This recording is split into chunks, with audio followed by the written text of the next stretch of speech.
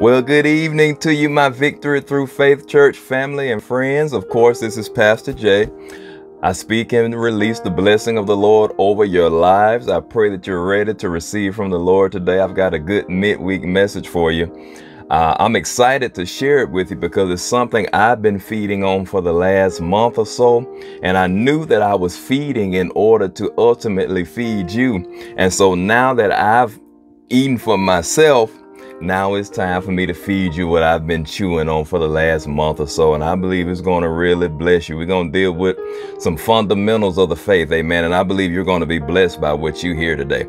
So let's go to God in prayer because we always want to prep our hearts because we always want to experience the wisdom and revelation of God whenever we hear the word preached. So let's pray so that we can prime our hearts and be ready and receptive to receive receive the word this evening. Father God, we thank you for another opportunity to come boldly before your throne of grace and receive exactly what we need. So, Father God, I pray right now that we believe and receive for wisdom, for revelation knowledge, for understanding and understanding how to apply the knowledge that we glean today, Lord. Holy Spirit, I thank you for making the word plain. I thank you for empowering us and equipping us by faith, Lord God, so that the power within us can be awakened and activated. Lord, I give you my mind, I give you my mouth, I give you my heart, I give you my whole being. Everything you desire to say and everything you desire to do, I yield myself to be used by you this evening, Lord God.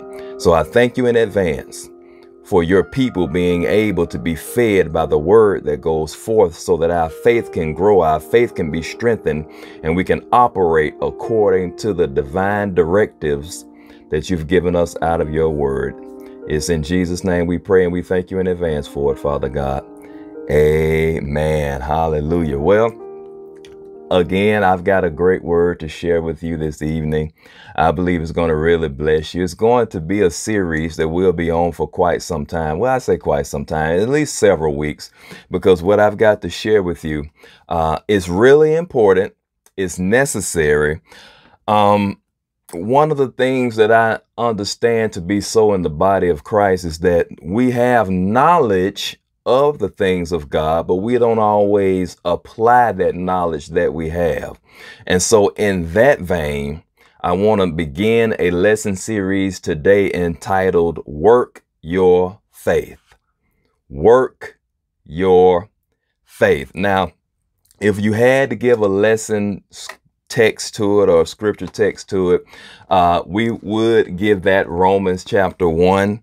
I'll read verses 16 and 17 for you out of the King James Version of the Bible. It says, For I am not ashamed of the gospel of Christ, for it, the gospel of Christ, is the power of God unto salvation to everyone that believes, to the Jew first, and also to the Greek. Verse 17 For therein is the righteousness of God revealed from faith to faith, as it is written, the just shall live by faith. As it is written, the just that's you. That's me. That's every born again child of God. The just shall live by faith. Now, God didn't say the just shall use faith. God said the just shall live by faith. It's the way we go about our day to day activities. It's the way we exist in the kingdom of God. We live, we move, and we have our being in Him by faith. And so, for my introduction, I just want to make this known to you. For the believer, for the child of God, for the just, there is only one prescribed way to live. And that way, of course, is by faith. There's only one prescribed method to live for the body of Christ, for the believer, for those that have been made just through Jesus Christ. And that way is by faith. Now, I, de- I said to you a moment ago that we have knowledge, but we don't always apply the knowledge that we have.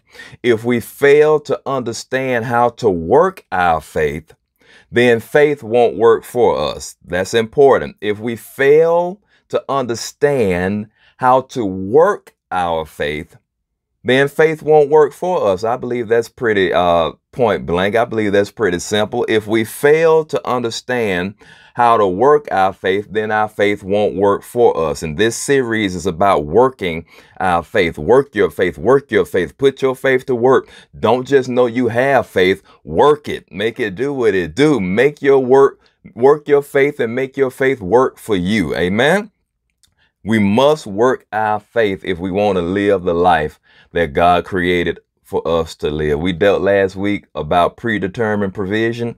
If you want to experience that predetermined provision in your life, you got to work your faith. You got to work your faith. Much of believing and receiving from God is understanding that He's already done it.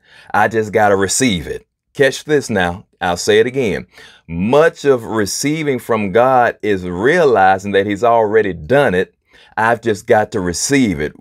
We don't go to God asking him to do what the word tells us he's already done. We go to God in faith, believing and receiving that we have what he has already provided. So to live successfully as God ordained for us to live, we must work our faith. If you want to live the way God wants you to live, you got to work your faith. You know those desires that you have within you, those things that you want to do, that level of living that you want to aspire to, those things that you want to do for others. You got to work your faith to get there. You you can work a you can work a secular job. You can do all the worldly things that they tell us to do. You can go to school. Uh, you can finish high school. You can go to college. You can get your doctorate. You can get your master's. You can get all of that. But if you aren't but if you as a child of God are not walking by faith, you I don't care what level you're living on. If you aren't walking by faith, you're living far below what God has for you. You are living below Oh, that's good. You know, we're here in the world where if you make a certain amount, you either you are either living above or below the poverty line. Well, for us as children of God, if we are not walking by faith, we are living below the kingdom line. Ah, glory to God. There's a line for the believer to pass and surpass that the world cannot because the world doesn't walk by faith. The world can only live according to what the world can offer. But we're in the world, but we're not of the world. So when we work our faith, we can live above the world. We can live out of the kingdom and we can live successfully as God ordained for us to live. So I just want to talk to you in this lesson. And that's what I'm going to do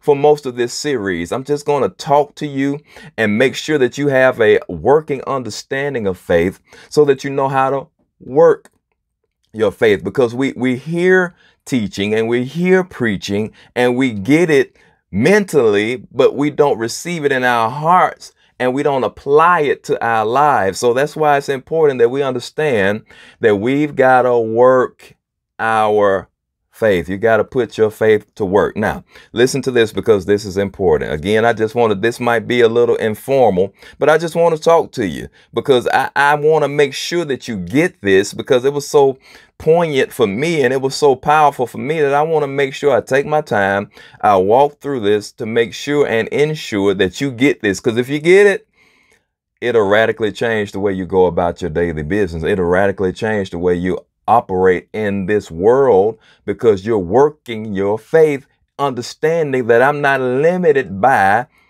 or to what the world has to offer or what the world tries to withhold. So listen to this because this is important for how, how deep we go later. Most people think faith and belief are the same thing. Most believers think, well, if I believe it, I'm in faith. And if I'm in faith, I believe it.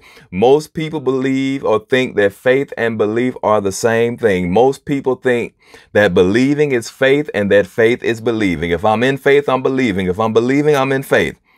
Well, if you have faith, that means you believe. And if you believe, that means you're in faith, right? Wrong. That is not the case. Faith and belief are not the same thing. What?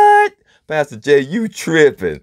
No, no, no, just listen to me for a moment. Faith and belief are not the same thing. I'll expound on that in a moment to help you out. Most people think if I believe, that's faith. I got faith because I believe. And if I have faith, that means I believe. That is not the case. You can, oh, listen to this. It's possible to believe yet not have faith. Wow, how is that possible, Pastor Jay? Well, stick with me. I'm, you know, I'm gonna tell you, it is possible to believe and yet not have faith. How is that? Because faith and belief, both faith and belief, are two sides of the same coin. Faith and belief are two sides of the same coin. Just like you got heads and tails on a quarter, faith and belief are two sides of the same coin. If one of those sides are not intact, it won't work. It won't spin. If somebody hands you a quarter that has a head side, but the tail side is blank, if you try to give somebody that quarter and if they're paying attention, they're not going to receive that from you because it's not legal tender. It's counterfeit. It's fake. In order to be uh, legitimate, it has to have both a head and a tail side. Well, for, for you to operate in the kingdom of God, you have to have both faith and belief.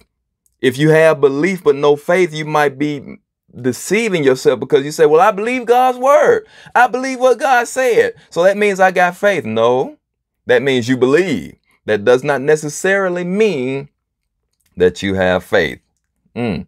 If you got faith, but you don't have belief, you can't have faith without belief. But if you say you have belief, but and you think you got faith, you got to examine yourself to see if those things are so. And I'm gonna help you out. I'm gonna help you out. I know I'm setting you up, but listen to this, because I want. I'm going to draw the distinction for you. I said that faith and belief are two sides of the same coin. Listen, belief is agreeing to the truth of a thing.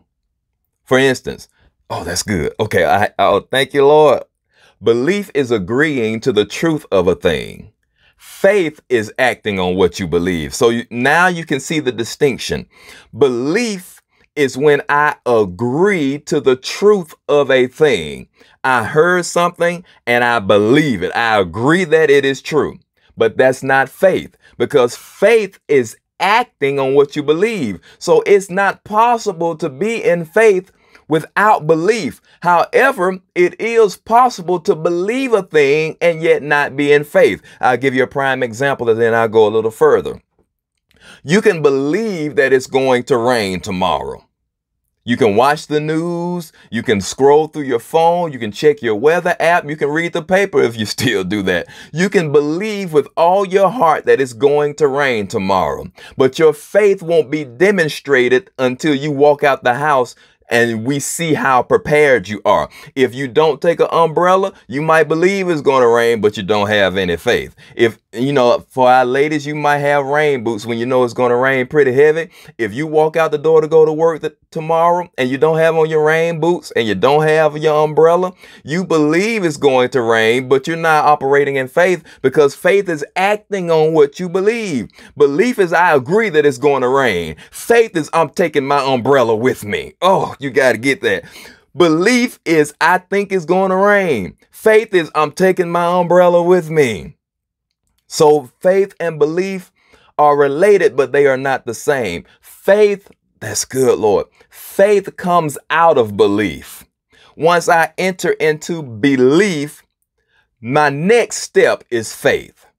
You get that? Listen to me. Once I enter into belief, agreeing that something is true, my next step should be faith, acting on what I believe to be true.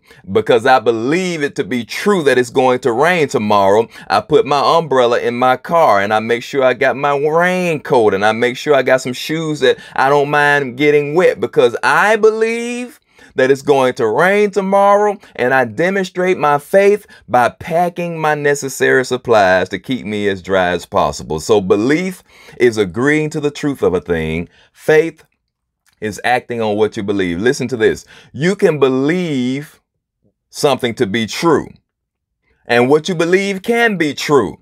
You can believe something to be true, and what you believe can be true. However, if you don't act on what you believe, what you believe won't work for you. That might have confused you, but I want to say it again because you got to catch this. What you believe can be true.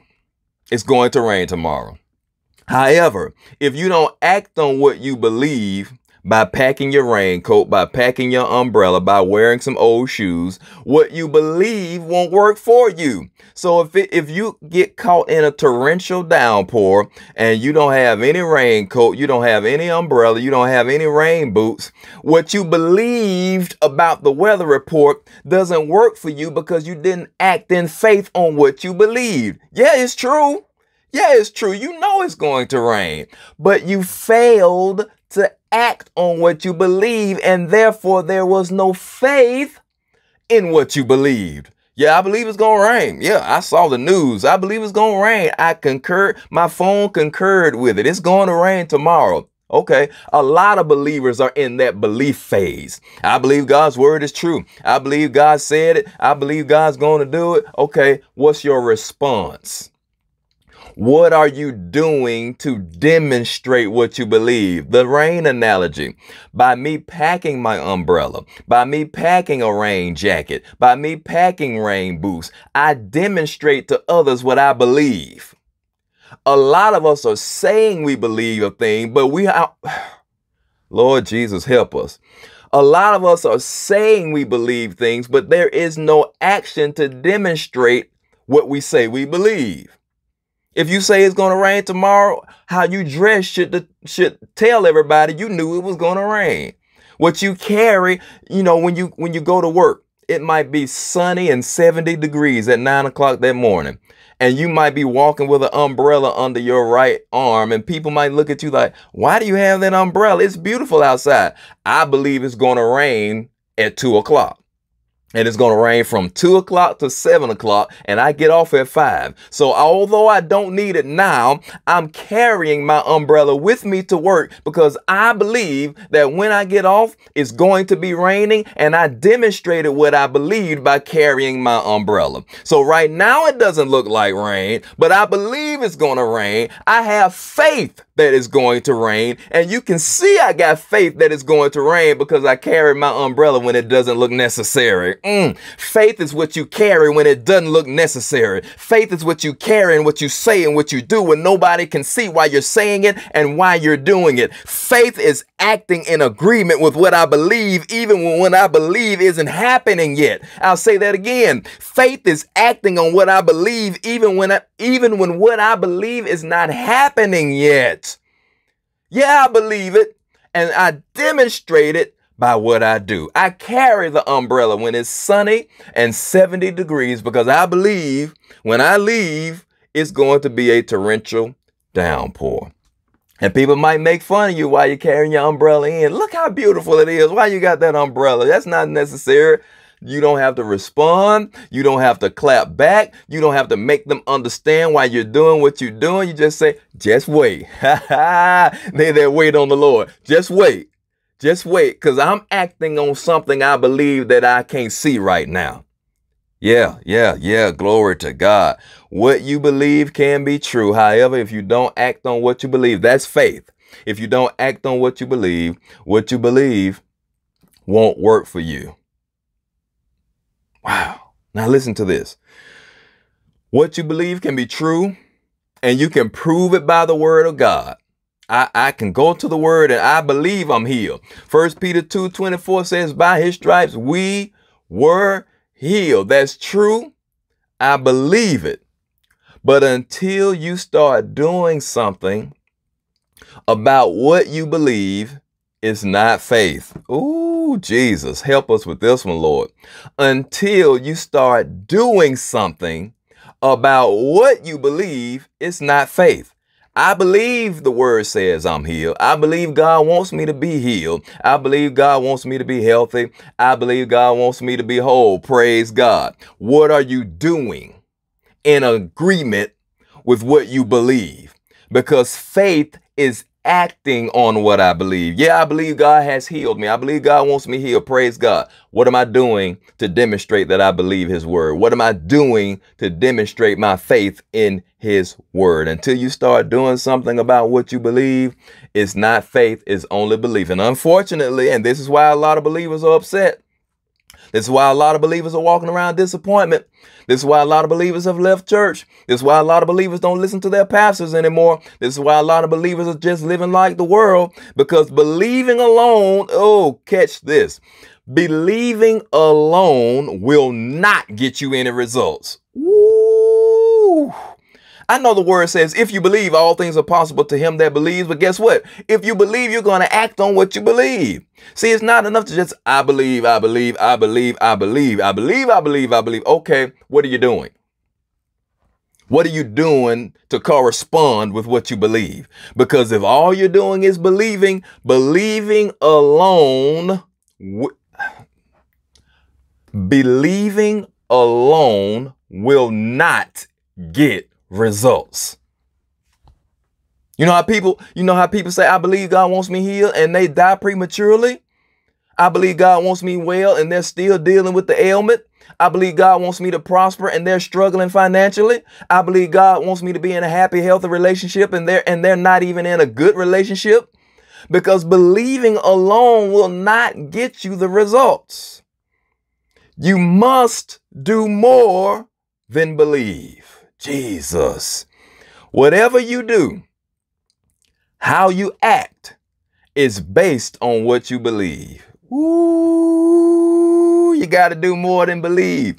Whatever you do, how you act is based on what you believe. They go together. Your belief and your action must go together. When your belief corresponds well with your action, faith is born. See, because I believe God wants me healed, then I began decreeing it. I began saying it. I began confessing it. And I began acting like a healed person acts.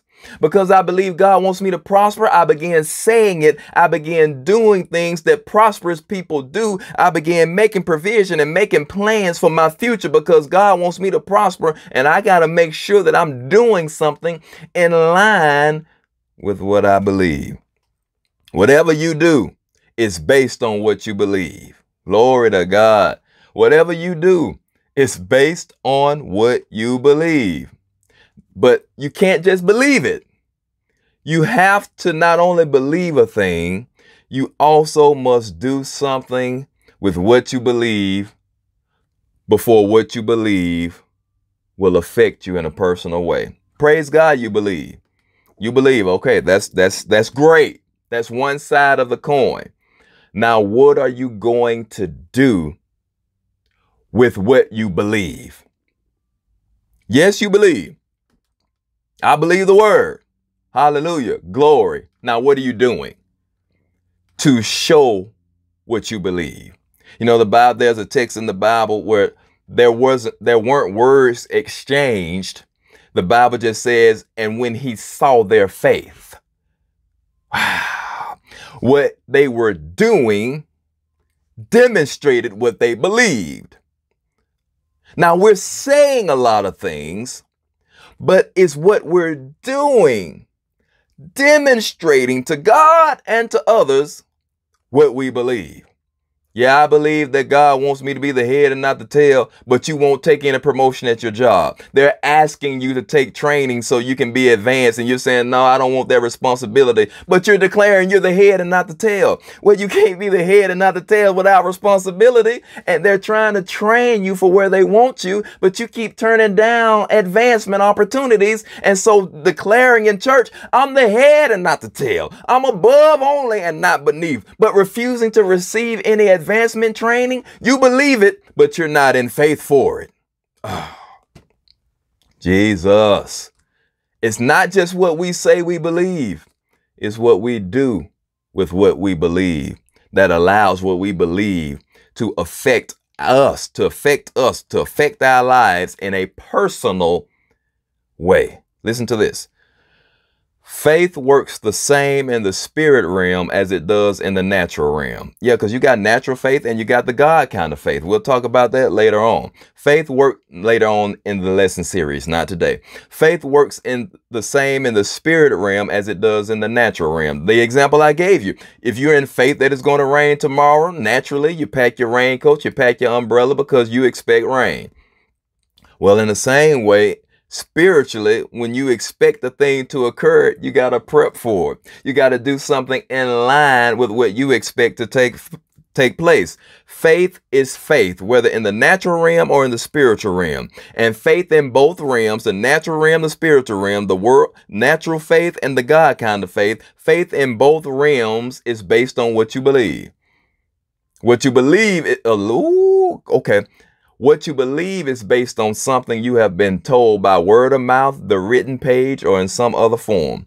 So what you believe is based on what you heard. You either heard about word of mouth or written, or it was written somewhere or in some other form of communication, but you came into contact with it. Okay? So faith works the same in the natural realm as it does in the spiritual realm. This is how it works. One, you are given information. Two, you believe that information. And then three, you act on it. That's how faith works. Whether we're talking about natural faith or the God kind of faith, you do three things. You are given or you receive information. You believe the information that you received. And number three, you act on it. Now, it's possible to be given the information and believe that information, yet not be benefited by the information you believe because you failed to do step number three. You failed to act on what you believe. You got drenched in the torrential downpour because you failed to pack your umbrella. You were given information and you believed that information, but you failed to act on that information. If you believe the word of God, which is divine information, but you're not acting on it, God's word will never do you any personal good. Oh, Jesus, help your people. I'll say it again. If you believe the word of God, which is divine information, but you are not acting on it, God's word will never do you any personal good.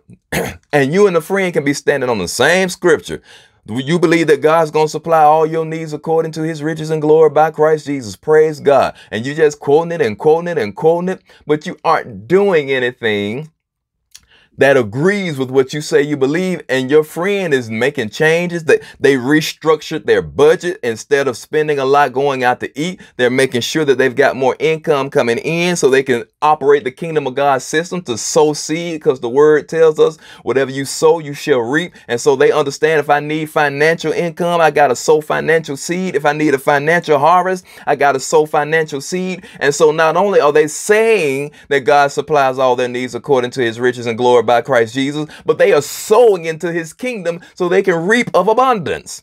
But all you were doing was just quoting the scripture every day, but there was nothing you did that matched what you believed. You believed it in your heart. I'm not saying you don't believe it. You believe it in your heart, but you aren't acting in alignment with what you believe. You can believe all day long that what the Bible says is true, but what the Bible says will not impact your life in a personal way until you start acting on God's word. I'll say it again. What you believe will not impact your life in a personal way until you start acting on God's word. You got to act on the word. You've got to act on the word. Even though the word is true, and it is, the word is true. I believe the word is infallible. I believe it is inerrant. I believe there is no mistake in God's original word. But even though the word is true, it won't do you any personal good until you act on it. Yeah, I, can quote a scripture all day, but am I changing my behavior to align with what I say I believe? Yeah, you can get in your car and say, I believe this car can take me from my home to my job in 10 minutes. Praise God. You're in the car, full tank of gas, brand new car, works like it's supposed to. You got the keys in your hand. You say, I believe this car can take me from my home to my job in 10 minutes. Now, you only got 15 minutes to get to work before you're late. 20 minutes later, you're sitting in the driveway. I believe that this car can take me from my home to my job in 10 minutes. Well, now you're already tired and you're still sitting in, sitting in the driveway. Why? Because your belief is not enough. It's true. It's a brand new car. It can take you from your home to your job in 10 minutes because you stay 10 minutes away from your job. However, if you don't act on what you believe by cranking that car up and driving to your location, what you believe won't benefit you. You've got to do something in line. I have to do something in line. We have to do something in line with what we say we believe. Remember this faith is simply acting on what you believe because I believe that this car can get me from my home to my job in 10 minutes. I get in the car, I crank the car up, I put it in gear, and I drive to my job in 10 minutes and I'm on time with a couple of minutes to spare. Why? Because I don't even have to tell people I believe my car can get me from my home to my job because just from the simple fact that I got in it and drove to my job demonstrated to everybody around me that I believe my car can get me there. Why? Because I got in it, I crunk it, and I drove it. We don't have to be so focused on telling people what we believe. We need to be more focused about showing people what we believe, demonstrating what we believe by acting in agreement with what we say we believe. That's all faith is. Believing is fine. If you believe all things are possible. However, faith is acting on what you believe. You know what you genuinely. Oh, okay. I'm going to get it ready to wrap this up. Turn to James chapter 1. I want to show you some scripture to back it up, and then I'm going to wrap it up for today. You know what you genuinely believe by what you consistently say and do. The umbrella analogy, the rain analogy with the umbrella, the car analogy with the keys in the driveway. You know what you genuinely believe by what you consistently say and do. You say you're ready to be in a long standing, happy relationship, but you're doing the same things you've been doing in the relationships that have been short lived and, and, and, and, and traumatic. Then you got to do something differently. You cannot continue to do the same thing and expect a different result that has often been defined as insanity. You cannot do the same thing over and over and over again to no avail and expect to get a different result. Faith is acting on what you believe and you know what you gen- I mean genuinely believe because it's possible to deceive yourself. You can say you believe one thing but do something differently and just because you say you believe it, I know you don't because what you did doesn't match with what you said. what you did didn't match what you said. What you're doing not is not in agreement with what you're saying you believe. And therefore, you will not be affected personally in a beneficial way. In James chapter 1, let's look at this real quick because we got to bring this home. This is so good. I told you this is going to be a really good series for you. It challenged me. It reminded me of some things. It, it called me to the carpet on some things. And I pray that it shows you where you're missing it. Listen to this, James chapter 1 verse 22. But be ye doers of the word and not hearers only, deceiving your own selves. See, when we hear the word and we say we believe the word, but we're not doing what we say we believe, the only people we're deceiving is us because everybody else can see through it. They already know. Nah, they're not for real. They're not sincere. They've been saying that. They've been saying that for the last 15 years and hadn't changed at all. So they already know you don't believe it. The only one who is deceived is you. Look at chapter 2, verse 14.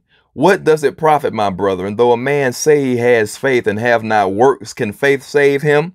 If a brother or sister be naked and destitute of daily food, and one of you say unto them, Depart in peace, be ye warmed and filled, notwithstanding you give them not those things which are needful to the body, what does it profit them? What good does it say? What good is it to tell somebody to be warmed and be filled if you don't give them clothes to warm up and if you don't give them food to fill their bellies? What you say doesn't benefit them at all all. Verse 17 says, Even so, faith, if it have not works, is dead, being alone. Yes, a man may say, You have faith, and I have works. Show me your faith without thy works, and I will show thee my faith by my works. I'm going to show you what I believe by what I consistently do. I'm going to show you what I believe by what I consistently say and do. Glory to God. Verse 19. Thou believest that there, listen, that's why faith and belief is not the same thing because devils believe, but they don't have faith. Thou believest that there is one God, thou doest well. The devils also believe and tremble. So they believe and they tremble. What's lacking for them is faith. Because if they had faith, they would act differently toward Jesus. So because they can't have faith in Jesus, they believe, but they tremble because with the absence of faith, they cannot be delivered from their ultimate demise. Glory to God. So belief by itself won't work for you if you don't enter into faith. Verse 20. But will you know, O man, O vain man, that faith without works is dead. Faith without works is dead. Belief without action is not faith at all. And by faith we live. The just shall live by faith. Yeah, you got to work your faith.